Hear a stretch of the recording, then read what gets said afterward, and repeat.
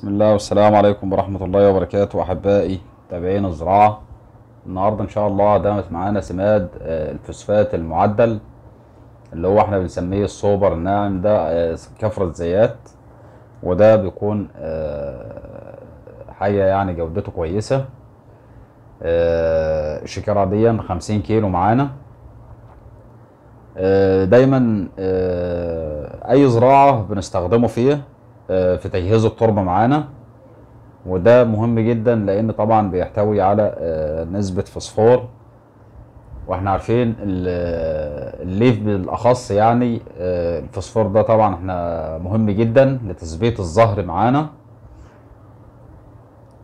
بن بندردبه في الخط زي ما إحنا شايفين ما بيتحطش في سمادة. ده ال- السماد الوحيدة اللي بيتحطش في سمادة. بنبدره عادي في الأرض ما بيزعلش في حاجة. آه، لو الأرض عندنا مسطحة عادي بنبدره أو لو هي آه، معمولة زي ما إحنا شايفين مساطب أو خطوط بن آه، بندردبه في الخط بالشكل ده طب المعدلات قد إيه؟ المعدلات على حسب الإمكانيات. يعني كل ما تزود كل ما بيكون أفضل. يعني آه، ممكن لو عايزين نرمي مثلا الفدان آه، نص طن آه، مفيش مشكلة.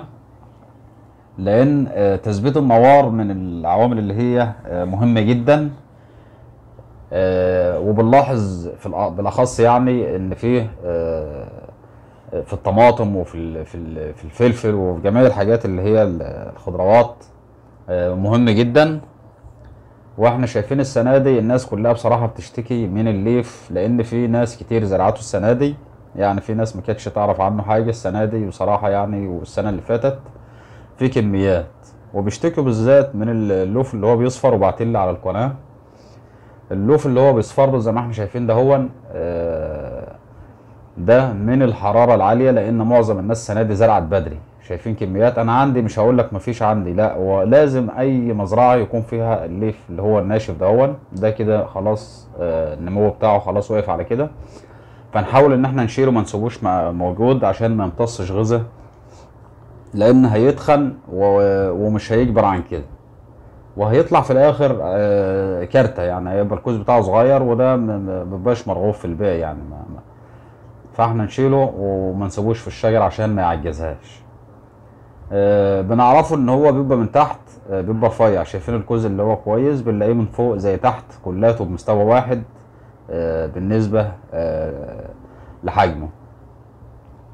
طبعا شايفين الفلفل ده طبعا مهم جدا تحت الليف لأن ال- الحمولة بتاعته بتفيد معانا ال- الجذور بتاع الليف معانا. هو رامي شهر طرح ما شاء الله في شهر تسعة هو هو المفروض يعني شهر تسعة بيبتدي الجو يطرى بيرمي طرح. وفي ناس بتبعت لي بتقول لي في زهر بيقع. الزهر ده يا جماعة الزهرة اللي هي الذكر وأنا اتكلمت في في فيديوهات كتير على القناة. لو هتبحثوا هتلاقي إن ال- الزهرة الذكر دي آه، ما ملهاش دعوة بالثمرة ملهاش دعوة بكوز الليف لأن دي كل كوز آه، ليف بيطلع؟ بيطلع معاه مجموعة زهر ذكر آه، وأنا اتكلمت عليها. إن إحنا آه، كل بتفتح بالليل وبالنهار مع الحرارة العاليه بتسقط. آه، بيبقوا مجموعة مجموعة زهر وكل يوم أو يومين بتفتح واحدة منهم. مع كل ثمرة لوف بيبقى موجود العرف الذكر ده هو اللي بيحصل منه عملية التلقيح عن طريق الحشرات أو النحل.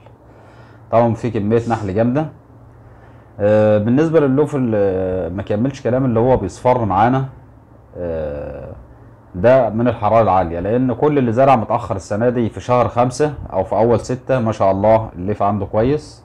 آه، في ناس زرعت من شهر من 15 3 وفي ناس زرعت في شهر أربعة. أنا زرع أول أربعة يعني نقول عندي الحمد لله متوسط كويس. بنحاول نعدل الليف اللي هو بيبقى متعلق معانا على الأوراق أو على الشجار زي ما إحنا شايفين لأن أول ما ثمرة اللوف بتطلع بيطلع معانا لفوق. آه، فما بتكبر شوية معانا بتبتدي إن هي تنزل معانا لتحت. فلو لقت حاجة تحت منها بتعلق عليها وبتتنه وتتعوج زي ما أنتم شايفين بالمنظر اللي أنتم شفتوه ده فاحنا دايما نلف في المزرعة آه، أي ورقة ناشفة نحاول ننزلها. أي ورقة صفرة يعني ما نسيبهاش. لأن دي بتعدي اللي جنبها. يعني إحنا لو هنلاحظ كده ورقة صفرة بص على الورقة اللي جنبها هتلاقي ابتدى إيه جزء فيها يصفر وبتنشف اللي جنبها. فاحنا نشيل كل الأوراق دي ونطلعها إيه بره المزرعة أو عادي بنسيبها في الأرض كده كده بتدوب وتبقى سماد معانا في الأرض ما بتزعلش.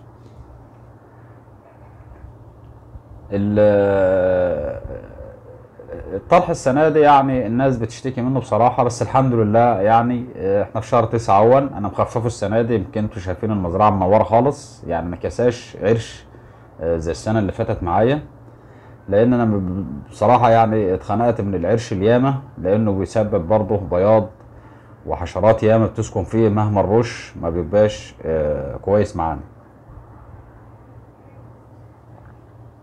فاحنا نحاول ان إحنا نخففها نزرعه على آه 8 متر السنة دي ما بين الشجرة والشجرة أو الجرة والجرة آه 8 متر معايا.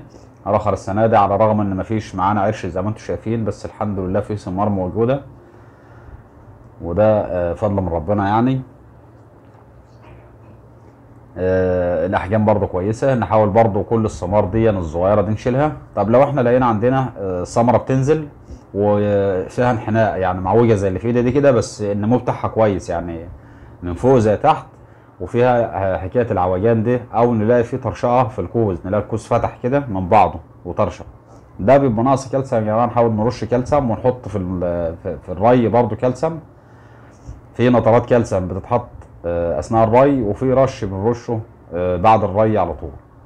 فنحاول إن إحنا نستخدم الاثنين يعني نحط دي معانا الزهرة؟ معلش أنا هتكلم عليها. الزهرة الأنثى ما بتطلع من كوز ال- الليف ذات نفسه ودي ما بتقعش يا جماعة عشان الناس اللي بتفكر الزهرة تقع دي إن هي دي اللي بيطلع منها الثمرة وكله بيقع وما بيطرحش. لا هي ال- ال- الزهرة الذكر بتطلع من الكوز اللوف بعد ما بيوصل حجمه حوالي 10 أو 12 سنتي بتبتدي إن هو يفتح زهرة وتفضل الزهرة ماسكة فيه ما بتقعش. أو بالمنظر اللي إحنا شايفينه اهون تبتدي بقى ال- الورد بتاعها ينشف بعد ال- الكوز ما يوصل مثلا 15 سنتي أو 20 سنتي.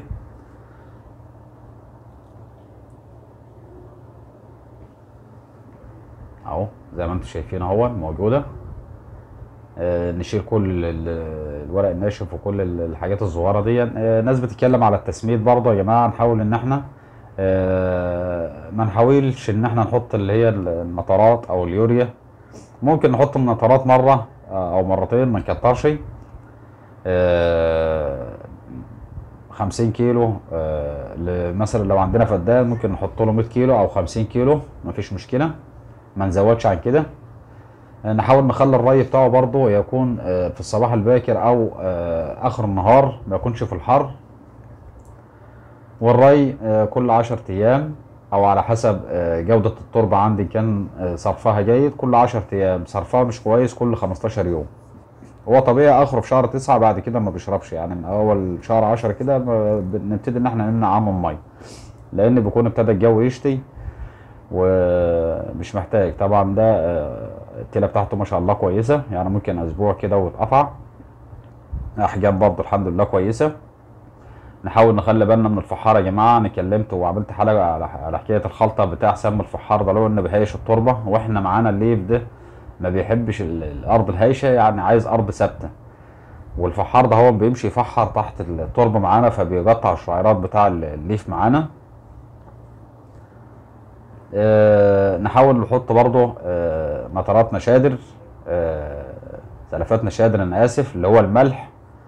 آه، برضه بمعدل آه، 100 كيلو للفدان وده بيكون في شهر تسعة. نحاول نرمي ال- الصوبر والملح دول في شهر تسعة. ما يرمهمش في البداية يعني لأن الجو بيبقى حر. آه، الميزة بتاعتهم بقى في الملح والصوبر إن هم بيخلوا التيلة بتاعت ال- الكوز الليف معانا متماسكة جامدة. يعني لما نيجي نقطعه ون- ونعطونه في المية ونيجي نطلعه عشان آه، التاجر ياخده أو نستخدمه. بتكون آه، الليفه معانا قوية دي بتبقى مرغوبه في في البيع. وفي الوقت وفي الوقت التاني إن هي تعيش معاك يعني واحد خد ليفة يستخدمها ممكن تقعد عنده سنة ما, تدوبش. طبعا ما شاء الله منزل شوية طرح حلوين. آه، كل ما بيبتدي الجو يطرى هيرمي معانا طرح. الناس اللي هي زرعت بدري ومفيش ثمار عندها آه، ده برضو من الحرارة يا جماعة واللي بينشف ده من الحرارة. آه، من ناحية آه، ان إحنا الناس بتقول لك ده بياض لا مش بياض. إحنا شايفين ما شاء الله الزرع كويس. آه، طبعا الورقه اللي شايفينها نصها أصفر ونصها أخضر دي. آه، ده بتبقى الورقة اللي هي مسنة في الشجرة معانا أو بتكون الورقة أول ورقة طلعت معانا في الشجرة. هنتكلم برضه على الدبور نزل السنة دي. الدبور ده في ناس بيقول لك فيه نقطة سمراء كده في الكوز. ده بيبقى دبور والدبور ده عامل زي شبه النحلة كده يا جماعة مش الدبور الأخضر. في ناس بتفتكر الدبور اللي هو الأخضر. الفرفار اللي هو موجود آه، في في اللوبيا معانا وفي الذره والحاجات دي لا ده دبورة كده بيلدع الكوز بيبيض. على فكرة ال- الديدان اللي أنتوا شايفينها دي بعد فترة بت- بتبقى بتفقس وبتبقى دبابير معانا. ونحاول إن إحنا أول ما نلاقي حاجة زي كده لأن الكوز خلاص باظ. ما دام الدبور ده لدعه خلاص بيبيض فيه بيعفن بالشكل اللي أنتوا شايفينه ده نحاول نشيله ونعدمه بره المزرعة خالص ما نسيبوش موجود. آه، لأن ده طبعا خطر ونحاول إن إحنا نرشله آه، لمباده أو الباشا. كلنا عارفين الرش ده حشري وده هو اللي بيقضي عليه. وإن شاء الله انتظرونا في الفيديوهات القادمة وما تنسوش الإعجاب والاشتراك في القناة ويعجبكم الفيديو. والسلام عليكم ورحمة الله وبركاته.